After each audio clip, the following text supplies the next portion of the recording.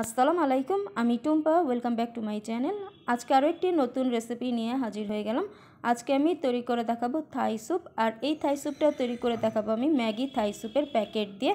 তো আমার চ্যানেলে অলরেডি অনেকগুলো থাই স্যুপের রেসিপি আছে। তো আমি আমার লিঙ্কগুলো ডিসক্রিপশন বক্সে অ্যাড করে দিব, আপনারা চাইলে দেখে আসতে পারেন। তো আমার প্রতিটি থাই স্যুপের রেসিপিতে আমি একটু ভিন্নতা আনার চেষ্টা করেছি। তো এই রেসিপিতেও কিছুটা ভিন্নতা এনেছি। তো আশা করছি আমার আজকের এই রেসিপিটিও আপনাদের ভালো লাগবে। যদি ভালো লাগে তাহলে আমার চ্যানেলটিকে সাবস্ক্রাইব করে দিবেন। আজকের থাই স্যুপের জন্য আমার এখানে লাগবে এক প্যাকেট ম্যাগি হেলদি থাই স্যুপের প্যাকেট। আর এই থাই স্যুপের প্যাকেটের দাম নিয়েছে আমার এখানে পঞ্চাশ টাকা। তো অনেকেই আসলে দাম জিজ্ঞেস করেন, তো জায়গা বেদ এখানে চল্লিশ বা পঞ্চাশ টাকা হতে পারে, তাই আমি দামটা আগেই বলে দিলাম। আর এছাড়াও আমার এখানে লাগবে চিংড়ি মাছ। আমি এখানে প্রায় ওয়ান থার্ড কাপের মতো চিংড়ি মাছ নিয়েছি। আর চিংড়ি মাছগুলো একটু মিডিয়াম সাইজের নিয়েছি। মাথা আর লেসটাকে ফেলে দিয়ে, খোসাটাও ফেলে দিয়েছি। আর এর সাথে লাগবে একটা ডিম।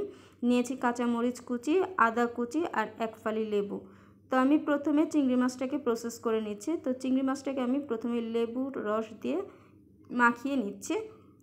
তো আমি এখানে পুরো লেবুর রসটা দিয়ে দিলাম। দিয়ে এবার আমি এই চিংড়ি মাছটাকে একটু মাখিয়ে প্রায় দশ থেকে পনেরো মিনিটের জন্য এটাকে ম্যারিনেট করে রাখব। তো আমার মাখানো হয়ে গেছে, তো এটাকে আমি একটা সাইড করে রেখে দিচ্ছি। তো এখন চলে যাচ্ছি রান্নাতে।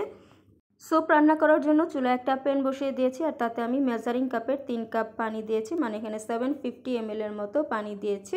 এখন এর মধ্যে দিয়ে দিচ্ছি স্যুপ পাউডারটা তো আমি এখানে পুরো এক প্যাকেট স্যুপ পাউডার দিয়ে দিলাম। এবার স্যুপ পাউডারটাকে পানির সাথে খুব ভালো করে মিশিয়ে নিচ্ছি, আর পানিটা হালকা একটু গরম হলে স্যুপ পাউডারটা পানিতে দিবেন, তাহলে স্যুপ পাউডারটা খুব সহজেই পানির সাথে মিশে যাবে। তো এবার আমি বাকি উপকরণগুলো দিয়ে দিচ্ছি, তো এখানে আমি কাঁচামরিচ কুচি আর যে আদা কুচিটা করে রেখেছিলাম, তো সেটাও দিয়ে দিচ্ছি। তো আপনারা চাইলে এখানে কাঁচামরিচ কুচিটা স্কিপ করতে পারেন। যদি আমি এই রেসিপিটা একটু ভিন্নভাবে ট্রাই করব এবার, তো এই জন্য এখানে কাঁচামরিচটা দিয়ে দিলাম একটু ঝালের জন্য। এখন আমি দিয়ে দিচ্ছি চিংড়ি মাছ, যেটাকে আমি লেবুর রস দিয়ে ম্যারিনেট করে রেখেছিলাম। তো এবার আমি এটাকে একটু নেড়ে চেড়ে মিক্স করে দিচ্ছি।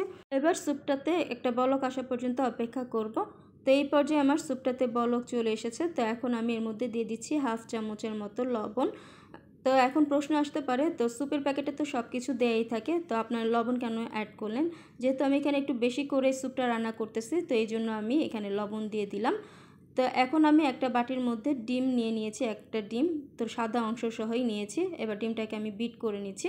যদিও থাই স্যুপের মধ্যে সাদা অংশটা দেয় না ডিমের তো আমার কাছে সাদা অংশ দিয়ে খেতে কিন্তু এই স্যুপটা বেশি ভালো লাগে এই জন্য আমি এখানে পুরো ডিমটাই নিয়ে নিয়েছি।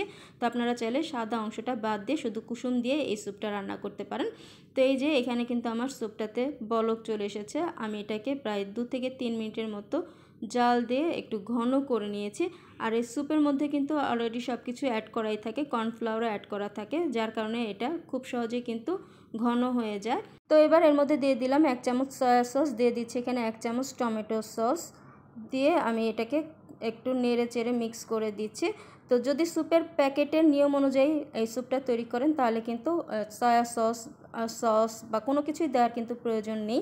যেহেতু আমি এখানে বেশি পরিমাণে বানাচ্ছি, এই জন্য আমি এখানে এক্সট্রা উপকরণগুলো অ্যাড করেছি। তো এখন আমি এই স্যুপটাকে একটু ঘন করার জন্য আগে কর্নফ্লাওয়ার গুলিয়ে রেখেছিলাম এক চামচের মতো কর্নফ্লাওয়ার সামান্য পানিতে। তো এখন কর্নফ্লাওয়ারটাকে অল্প অল্প করে দিয়ে একটু নেড়ে চেড়ে মিক্স করে নিচ্ছি। তো এই পর্যায়ে কিন্তু আমার স্যুপটা বেশ ঘন হয়ে গেছে। তো আমার কাছে লবণ একটু কম মনে হয়েছে, তো এই জন্য আমি আবারও কিছুটা লবণ দিয়ে দিলাম। আর স্যুপের মধ্যে যখন কর্নফ্লাওয়ারটা দিবেন, তখন সঙ্গে সঙ্গে স্যুপটাকে নাড়তে হবে। তা নাহলে কিন্তু কর্নফ্লাওয়ারটা নিচে যেয়ে তলা পেকে যাবে। তো এই পর্যায়ে আমি দিয়ে দিচ্ছি ডিম। তো ডিমটাকে আমি অল্প অল্প করে স্যুপের মধ্যে দিব আর একটা চামচ দিয়ে অনবরত নাড়তে থাকব। তা নাহলে ডিমটাও কিন্তু নিচে যেয়ে দলা পেকে যাবে। তো ডিমটাকে কিন্তু আমি অল্প অল্প করে দিচ্ছি আর চামচ দিয়ে মিশিয়ে নিচ্ছি। তো আমি আবারও কিছুটা ডিম দিয়ে দিচ্ছি। তো একদম অল্প অল্প করে দিব আর স্যুপের সাথে মিশিয়ে নিব। তা না হলে ডিমটা কিন্তু নিচে যেয়ে দলা পেকে যাবে। আর ডিমটা দেওয়ার পরে কিন্তু স্যুপটাকে আর বেশি সময় রান্না করব না, সেক্ষেত্রে কিন্তু ডিমটা শক্ত হয়ে যাবে আর স্যুপটা খেতে ভালো লাগবে না। তো এই যে আমি পুরো ডিমটা দিয়ে দিলাম। তো এবার আমি স্যুপটাকে জাস্ট আরও এক মিনিটের মতো একটু জাল দিয়ে নিব। এর থেকে আর বেশি জাল দিব না। আর যেহেতু কর্নফ্লাওয়ার দিয়েছি, তো স্যুপটা কিন্তু এই পর্যায়ে বেশ ঘন হয়ে গেছে। যদিও স্যুপের মধ্যে কর্নফ্লাওয়ার দেয় থাকে প্যাকেটের মধ্যে, তারপর আমি এক্সট্রাভাবে কিছুটা কর্নফ্লাওয়ার দিয়েছি, একটু ঘন করার জন্য, আর তাড়াতাড়ি যেন এই স্যুপটা হয়ে যায়, তো এই জন্য। তো আমার স্যুপটা প্রায় হয়ে এসেছে, তো আমি একদম শেষের দিকে দিয়ে দিচ্ছি এক ফালি লেবুর রস। তো আপনারা চাইলে লেবুর রসটা স্কিপ করতে পারেন, তবে লেবুর রসটা দিলে এই স্বাদটা বহুগুণে বেড়ে যায়, আর আমার কাছে খেতে কিন্তু বেশ ভালো লাগে।